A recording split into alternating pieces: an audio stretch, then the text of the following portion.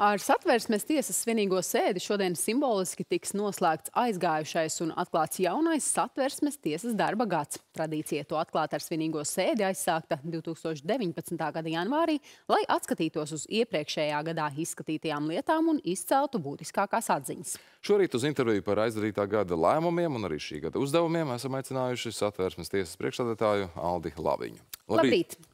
Labrīt. Nu, pirmkārt, jau sveicam. Tas ir laikam tāds jaunā gada sākums. Tiešām šī diena, ziņā, jā. mēs tiekamies. Eh, Šis tiešām gads ir bijis nozīmīgs, saistītais arī vēsturiski. Kā mēs zinām, Latvijas satversmes simtgadi atzīmējām arī uzsverot ilgtspēju kā konstitucionālu vērtību. Ar to arī, par to arī runājam ar jums vēl rudenī. Bet eh, no satversmes tiesas tieši tāda ikdienas darba piesātinājuma viedokļa. Kā jūs teiktu, īsumā, cik produktīvs ir bijis tas eh, aizvadītā gada nu, darba cēliens? Jā, es to raksturotu kā ļoti spraigu darba gadu, uh, gan satversmes tiesā uh, izskatīto lietu ziņā, gan uh, formulēto vērtīgo tiesisko atziņu ziņā, kas stiprina tiesiskumu Latvijā, gan, es teiktu, tie daudzie pasākumi, kas tika organizēti, lai godinātu satversmes, satversmi tā simtgadē, Tāpat uh, mēs uh, uzturējām dialogu ar uh, valsts konstitucionālajiem orgāniem, un ko es jo īpaši gribu uzsvērt, spraigs un veiksmīgs gads mums ir bijis starptautiskās sadarbības jomā. Latvijas satversmes tiesa ir guvusi Pasaules konstitucionālo tiesu kongresā lielu atzinību, jo mūsu tiesa ir ievēlēta Uh, šīs uh, kons pasaules konstitucionālo tiesu izveidotas starptautiskas institūcijas, izpildu institūcijā, kā viens no locekļiem, kas pārstāvēs visas Eiropas konstitucionālās tiesas. Es teiktu, tas ir ļoti augsts satversmes tiesas uh, paveiktā darba vērtējums. -hmm. Un galvenais, ka tas ir starptautiskā mērogā. Skaidrs, ka jums šodien būs jāpieskaras arī tādam skatam nākotnē un iespējamajiem šī gada izaicinājumiem. Kas būs tas, ko jūs uh, uzsvērsiet, uh, uzstājoties, un jā, kā jūs saredzat, kāds varētu būt šis gads? Uh, es domāju, ka visos manis nu pat pieminētajos aspektos, ko es pieminēju saistībā ar iepriekšējo gadu, es, varēšu, es, es varu teikt to pašu. Gan attiecībā uz Uh, izskatāmajām lietām mēs redzam priekšā samērā liela izaicinājuma mums ir. Uh, vēlreiz nāksies uh, izskatīt lietu, kas attiecas uz garantētā minimālā ienākuma līmeņa pārskatīšanas jautājumiem. Nāksies risināt jautājumus par okupācijas slavinošo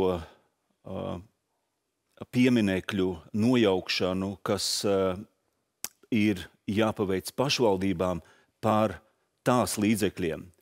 Nākamā uh, šķiet, ka sarežģīta lieta būs uh, saistīta ar valsts valodas lietojumu privāto augstākās izglītības jomā, privāto augstskolu studiju programmās. Vēl uh, es varētu minēt uh, lietas, kas uh, nu, šķiet man kā tiesas priekšsēdētājiem raisa nu, tādu lielu koncentrēšanos uz šīm lietām, ir tās lietas, kas attiecas uz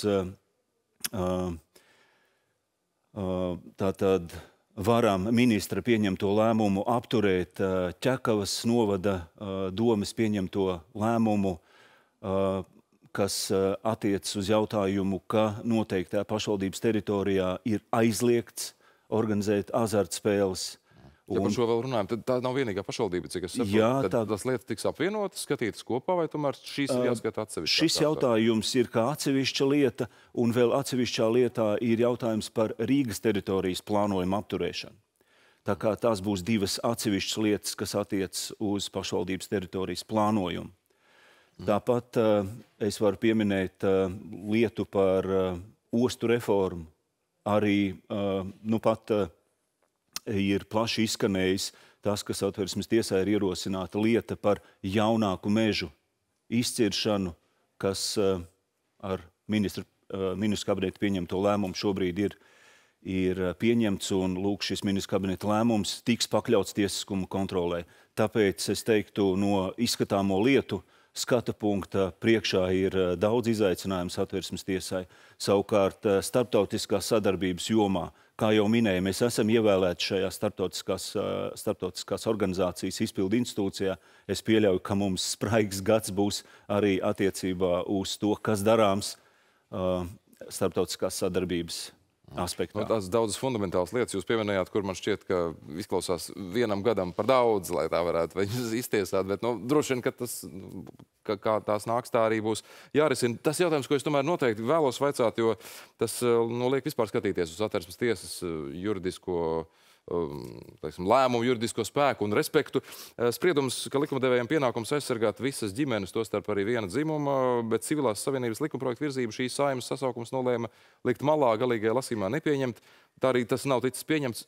Vai ir ticis izpildīts satversmes tiesas, ja nemaldos, 20. gada spriedums ar citiem likumdošanas aktiem, vai tomēr šo var uzskatīt nu, kā malā atliktu un ignorētu satversmes tiesas spriedumu? Mans uzskats ir, ka lielākajā daļā šis spriedums ir izpildīts. Ir, eh, grozīju, ir pieņemti grozījumi darba likumā, kas eh, šobrīd noteic samērā plašu to personu loku, kas var atbalstīt eh, māmiņu, kurai nu pat ir piedzimis bērniņš un ir nepieciešams sniegt atbalstu šādai ģimenei. Vai tas ir mātes partneris, tā paša dzimuma vai pretējā dzimuma pārstāvs. Tam vairs nav nozīmes šobrīd. Ikvienam, ko māte norāda, kura persona varētu būt tā, kas sniegtu šādā brīdī atbalstu, būs iespējas saņemt uh, noteikti atvaļinājumu dienu skaitu un sniegt uh, mātei un bērnam nepieciešamo atbalstu. Tāpēc no šāda skata punkta uh, tas centrālais jautājums, kas tika izskatīts uh, satversmes tiesā, šobrīd ir atrisināts. Taču man jāuzsver, ka uh, lai uh, secinātu, ka arī uh, tādās ģimenēs, tādas ģimenes, kuras veido viena dzimuma pāris, uh, ka arī šādās ģimenēs pienākas šāds sociālais labums kā partnerim saņemt atvaļinājumu tad, kad ģimenē ir piedzimis bērniņš, mums uh, vispirms nācās interpretēt vai konkretizēt satversmes uh, pantus, kas paredz ģimenes aizsardzību. Un tur satversmes tiesa ir devusi interpretāciju, ka satversme paredz ikvienas ģimenes aizsardzību. No šī izrietot, pat ja darba likumā ir veikti šie grozījumi, mums tomēr ir jāapskatās uz satversmes tiesas spriedumu plašāk un jājautā, vai ir nodrošināts arī citām ģimenēm, piemēram, viena dzimuma uh, partneru ģimenēm, juridiskā, sociālā un ekonomiskā aizsardzība. Tas jautājums Kā tas būtu jāizdara? Vai vienā likumā, kā bieži vien tiek uzsvērts?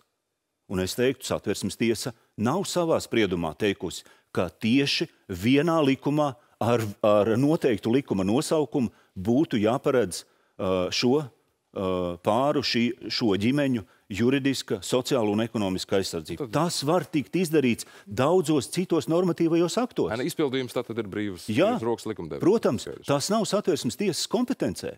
Citādi mēs noteikti pārkāptu savu kompetenci, ja mēs norādītu, kādu likumu jums ir jāpieņem. Nē, tas ir likumdevēja kompetencē. Un likumdevējs šobrīd arī pie šā jautājuma.